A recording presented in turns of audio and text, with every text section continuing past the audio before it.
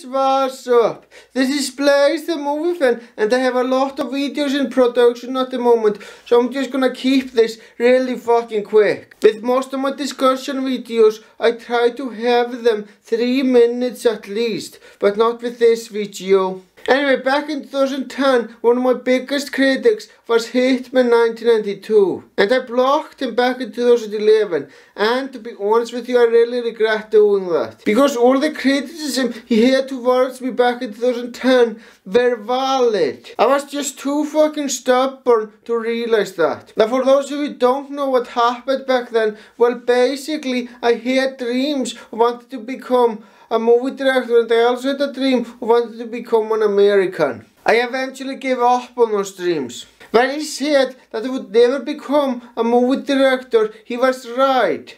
And when he said that I would never become an American, he was right about that as well. He didn't just say that it was worthless of me to dream about those things. He also gave legitimate reasons as to why it was worthless. And looking back, I really appreciate that. Now I do regret blocking him, in fact I unblocked him. But he hadn't commented on my videos as I unblocked him. Now I'm gonna explain exactly why I blocked him. Basically he was calling me out for being a dick towards my viewers by ignoring their requests. And back in 2011 when I blocked him, he was absolutely right about that. I really was a dick towards people who requested me to review stuff by totally ignoring their requests. So Hitman 1992, I really hope that you are watching this video.